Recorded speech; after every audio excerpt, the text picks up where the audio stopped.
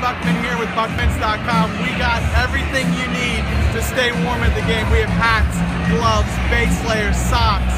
You're going to the football game in Philadelphia, having your cheesesteak. We have what you need to stay warm this season.